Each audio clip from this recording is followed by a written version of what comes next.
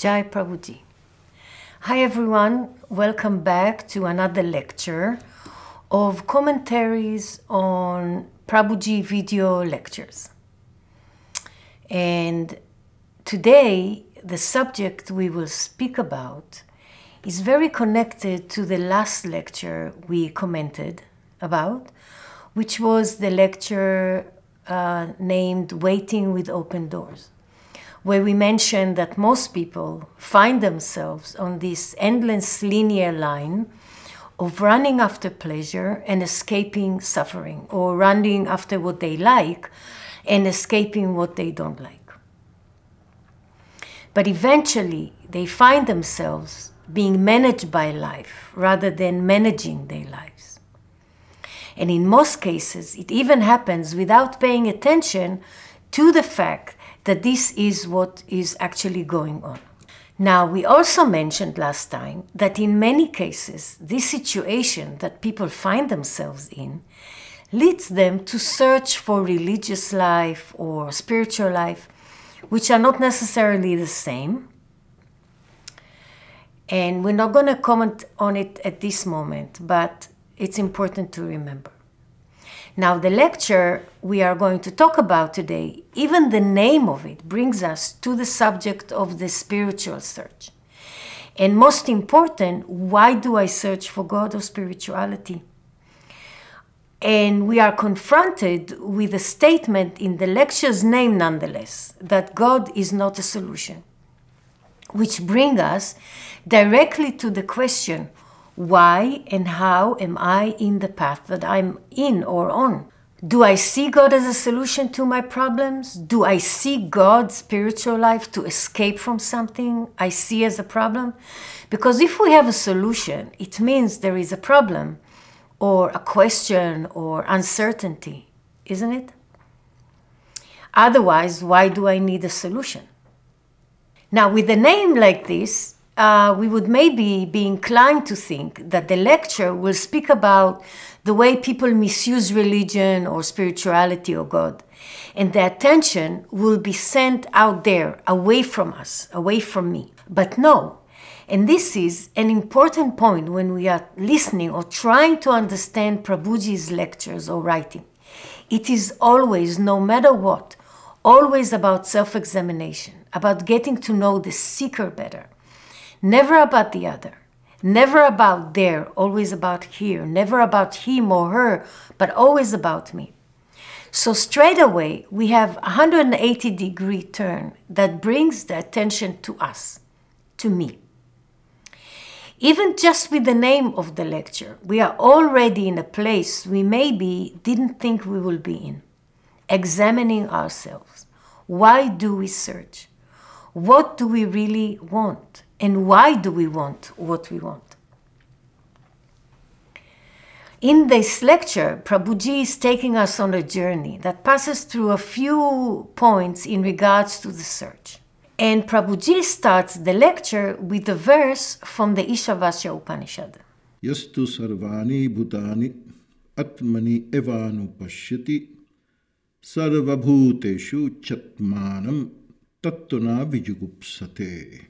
He who sees everything and everyone only in the self alone and sees the self in everything and everyone, does not hate anything or anyone.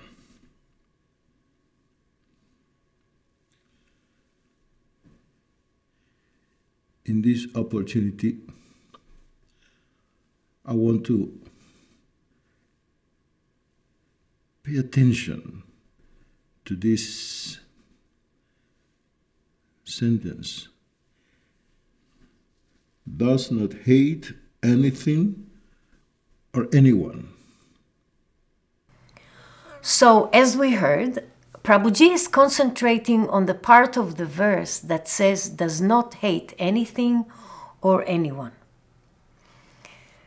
After that, the lecture starts with Prabhuji saying that what we are today is a result of choices we made in the past. And what we choose today will affect what we will be in the future. So our choices are very important.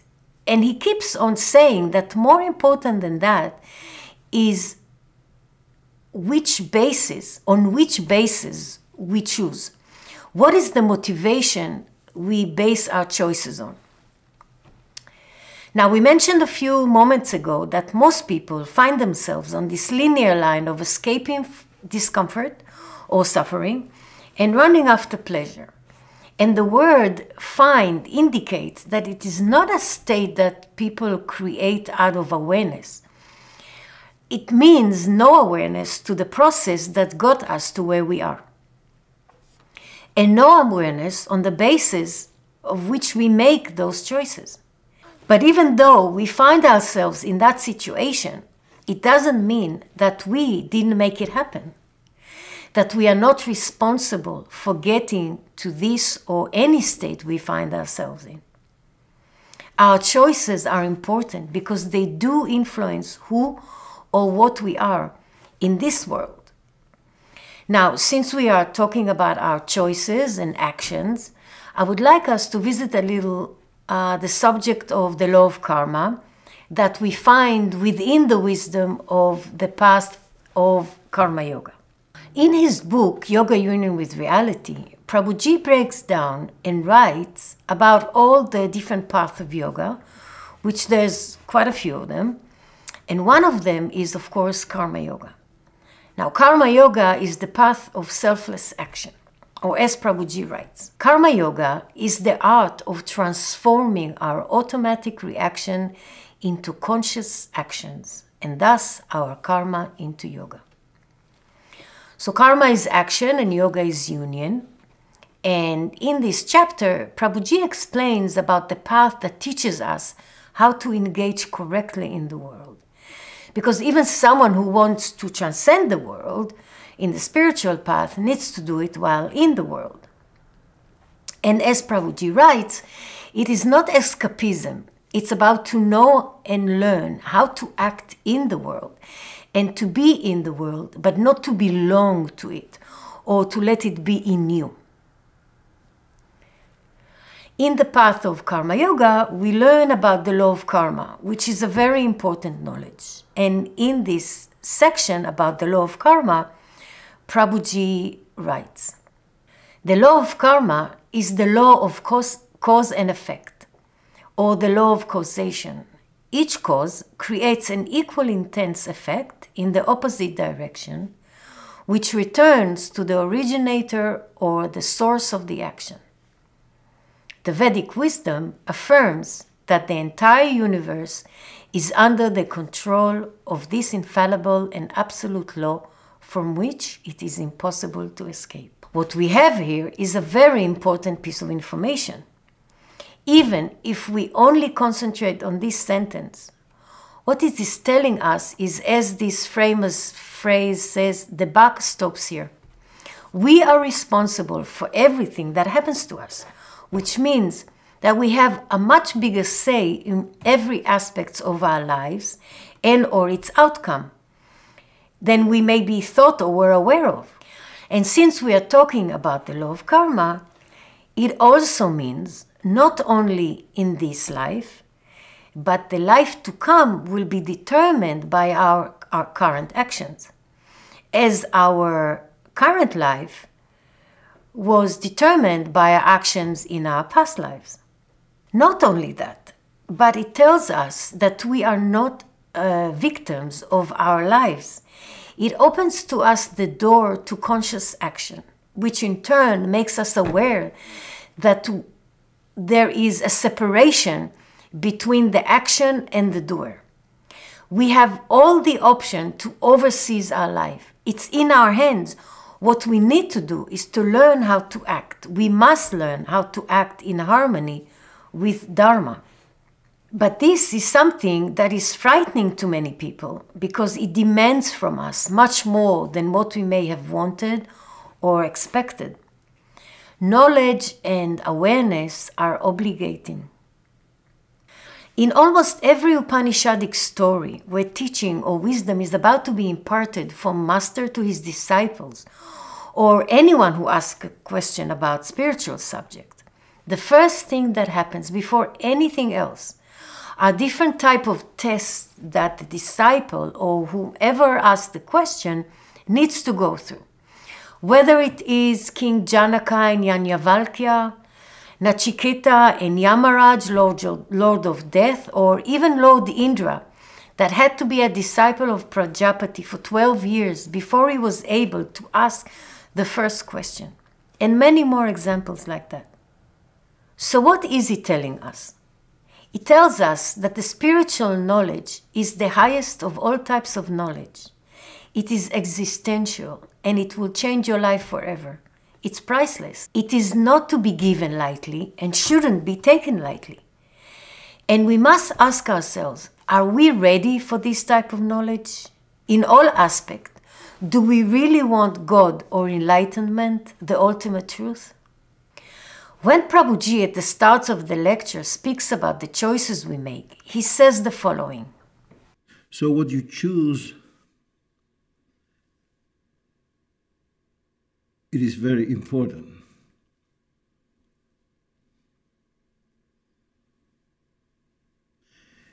But more than that,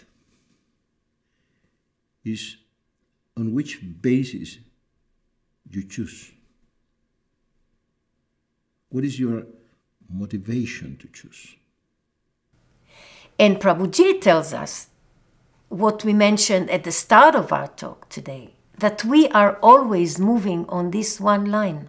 We make choices on the basis of what we like or we don't like. That's it. Life is an ocean of opportunities. Existence offers in front of us infinite alternatives, and we can choose.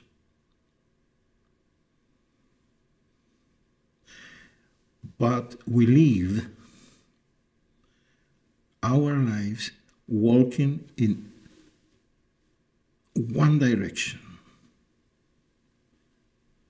Only one direction. If we will go back to what we said a few moments ago, that according to the law of karma, our choices, past and present, are what brought us to where we are. And out of all the options that may be open to us, as we just heard, we stay on this linear line. It's an interesting point, no? Why? It seems that the fact that we do have a choice opens a door to the unknown.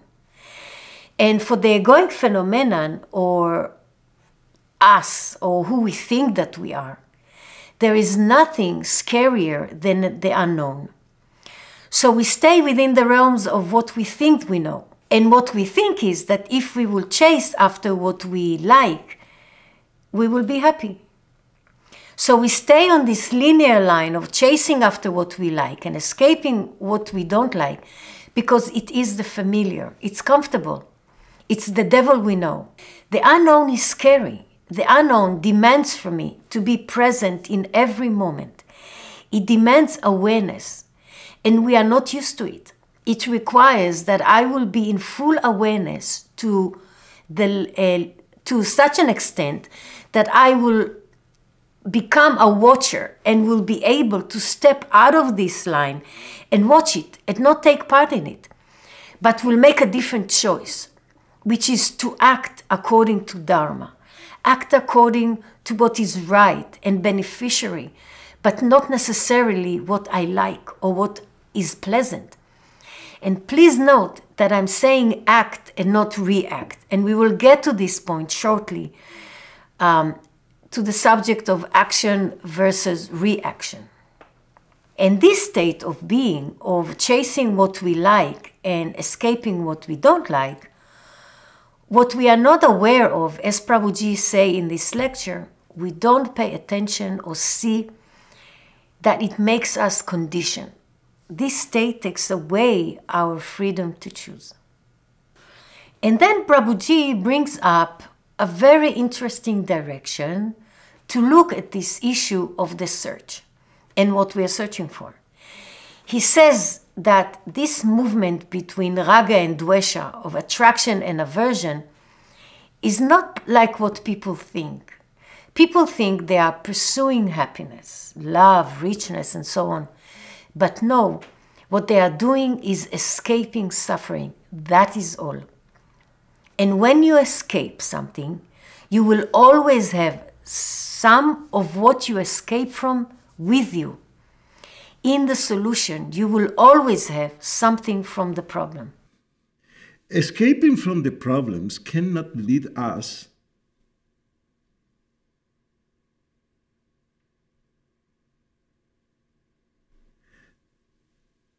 to truth, to reality. If a slave want to go out of slavery and want freedom, that freedom is not real freedom. It's not absolute freedom.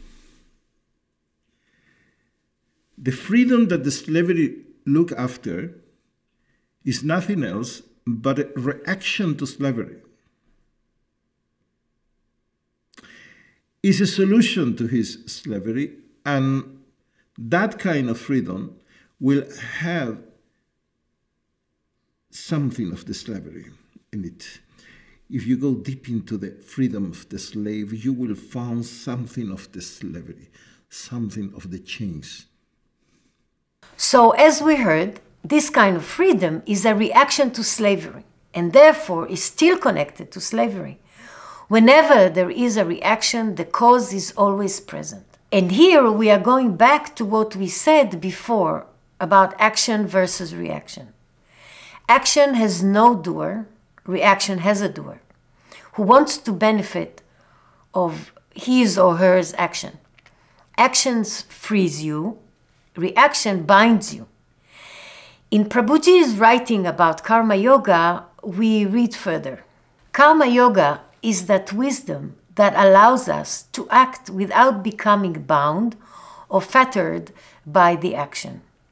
It teaches us the delicate art of turning action into a tool that liberates rather than enslaves. Karma Yoga is the art of transforming our automatic reactions into conscious action, and thus our karma into yoga. When we react to slavery, and Prabhuji says it clearly in the lecture, it is not pure freedom. And Prabhuji brings a few more examples besides freedom. That the same goes in the case of searching for love, in searching not to be alone, to be happy, and so on. Most people, when they search, they don't search, they escape. So their search is a reaction. Like freedom is not to be not to be a slave. And love is much more than not to be alone.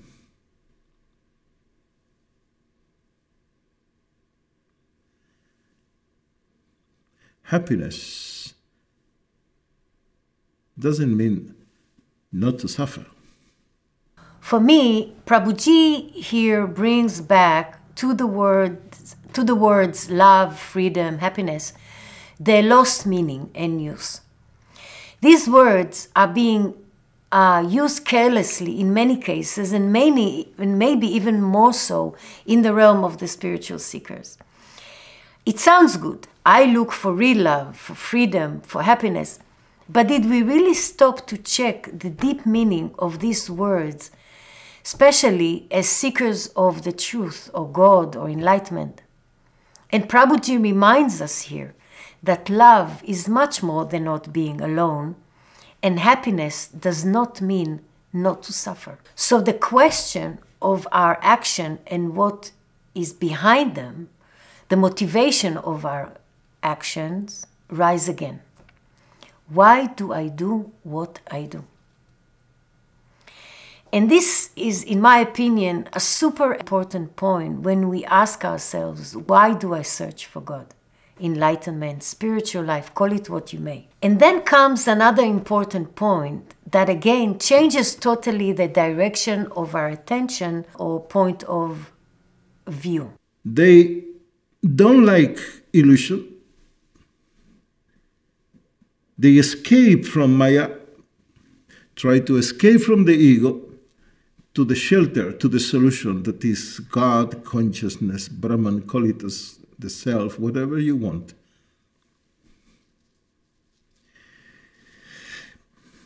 But with this attitude of raga and dvesha, it is problematic. First of all, for the simple reason that ego, illusion, maya doesn't mean you have a problem. But it means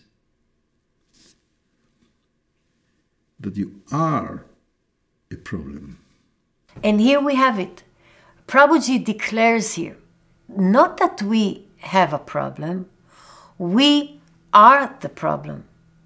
And if we are not sure why it's important to understand that we are the problem, Prabhuji is telling us further. When you are the problem, that means your problem is subjective. Ego, Maya, illusion means you are a problem. That means your problem is subjective. And every solution is objective. Every solution is mechanic. That means every solution comes from the externals, from the surface, from outside. Is applied to you from the outside, from the external world. Which means that there really there is nothing we can do to solve the problem. The only thing is to disappear, and who wants to disappear? And it's as Prabhuji said once that we must understand the spiritual quest is really a spiritual suicide. And until we understand that enlightenment, God, will never happen to me, we will never be able to advance on the path. And not less important is that God is not a solution because you are God. You are that. And when you will not be, God enlightenment will appear because it is not an objective problem. As we heard Prabhuji a moment ago, it is a subjective issue. I am the problem. And here I would like to bring about this point something that Prabhuji wrote in a new book named I am what I am. Just as darkness is nothing more than an absence of light, the egoic entity is mere ignorance of ourselves. The ego reveals itself as the shadow cast by our own ignorance.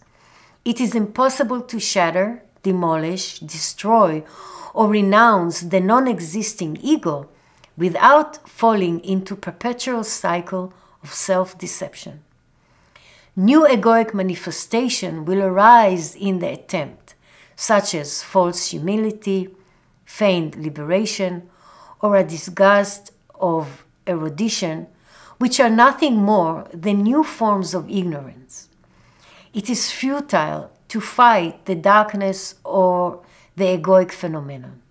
We cannot expel darkness, but only turn on the light. Just as darkness is dispelled by light, the ego dismantled by self knowledge. So here we have it. Self knowledge is the solution. And here we meet the path of Advaita Vedanta and its practical aspect, Jnana Yoga. Advaita Vedanta is one of the six orthodox darshanas within Hinduism, and it's the path of non dual Vedanta. And Jnana Yoga is the path of knowledge. Now, the word jnana means knowledge, and in his book Advaita Vedanta, Prabhuji writes about Jnana Yoga. Jnana Yoga is considered a destructive path since it destroys our habitual cognitive state of subject object. It encourages us to question the source of our existence. Its basic teaching is that our true nature is divine. It is the ultimate reality that lies in the depth of every living being. As an egoic entity, you are an illusion. An unreal being cannot aspire to be authentic. Truth can only be revealed in a moment free of what is known, of memory, of past. You cannot search, reach, achieve, or know the truth. You can only be it. Suddenly, you become aware that you are what you aspire to. Clearly, you cannot find the truth by searching for it, but without searching for it, you will never find it. We will not get now into explaining the path of Advaita Vedanta or Jnana Yoga. It's a very large subject. You are invited to see the lecture of our dear Indra Devi and Swami Omkarananda about the book Advaita Vedanta of Prabhuji. As I mentioned at the start of the lecture, Prabhuji takes us on a journey in this talk. And at the end of the lecture, Prabhuji gives, up, gives us a tip. If you are a real seeker of truth, looking for reality.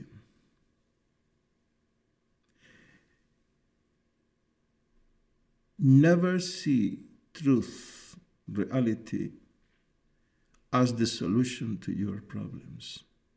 And then Prabhuji goes back to the end of the verse of the Ishavasya Upanishad. Does not hate anything or anyone. The one who is awake is beyond these chains of attachments and rejections, like and doesn't like. So I think we got quite a lot in this lecture of Prabhuji in our examination of it. For me, it is a real invitation for self, uh, self-exploration, to ask ourselves the important question that are maybe not very pleasant to ask and check but that lead us towards the truth. And it is something we need to consider, and as we asked during this lecture, are we ready for this knowledge that comes with the destruction of what we think that we are and what we believe ourselves to be?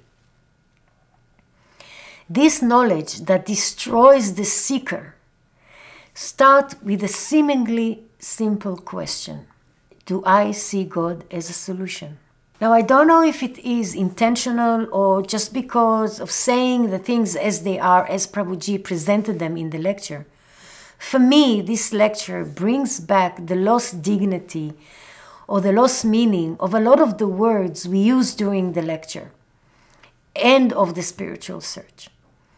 I mean, from the aspect that God, spirituality, enlightenment, self exploration, the search, karma, yoga, and so on are words that became a commercialized tool for self promotion for different people.